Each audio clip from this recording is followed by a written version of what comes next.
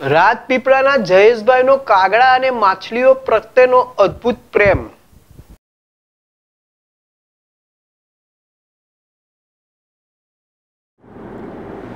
છેલ્લા બે વર્ષથી જયેશભાઈ તેમના મિત્રો સાથે કરજણ ઓવારાની પાછે આવેલ મંદિર નીચે કરજણ કિનારે પક્ષીઓને લૂંટનું ચણ ખવડાવવાનો જયેશભાઈનો નિત્યક્રમ છે.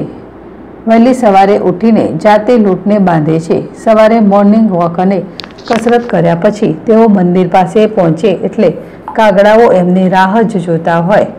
જયેશભાઈ લૂંટમાંથી બુંદી જેવી નાની નાની કણીઓ બનાવે છે કે જે કાગડાની ચાંચમાં સહેલાઈથી આવી જાય. એવી સાઈઝની નરમ બાંધેલ લૂંટની બુંદી જેવી કણીઓ હવામાં ફેંકે એટલે પ્રતીક્ષારત કાગડાઓ લોટની કણીને નીચે પડવા જ દેતા નથી અને અદ્ધર હવામાં જ ચાંચમાં ઝીલી લે છે. ક્યારેક તો કાગડાઓ હવામાં સલંગ લગાવીને હવામાં જ એ કણીઓને ઝીલીને મોંમાં લઈ લે છે. આ દ્રશ્ય એટલું રમૂજી, એટલું જ અદ્ભુત છે કે જાણે કોઈ માં પોતાના વાલ સોયા દીકરાના મોંમાં પ્રેમથી કોરિયો નાખતા હોય. એમ જયેશભાઈ લોટનો કોરિયો સાથે કાગડાના મોંમાં જાય છે. લૂંટની કણીઓ નાખે તો ભાગ્યે જ જમીન પર પડવા દેશે.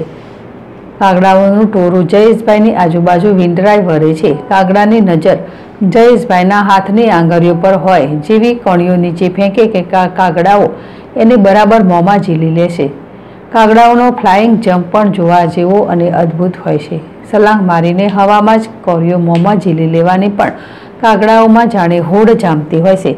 સામાન્ય રીતે કાગડાઓ માનવની નજીક આવતા ડરતા હોય છે.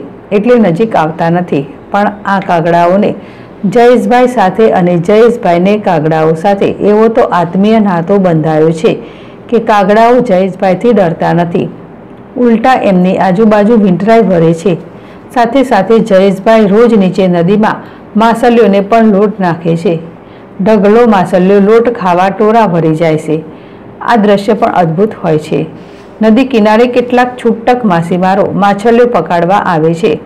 વર્ષોથી આ લોકો માછલીઓને ચણ નાખતા હોવાથી અહીં કોઈને માછલી પકડવા દેવામાં આવતી નથી. એને કારણે માછલીઓને જીવનદાન મરી ગયું છે.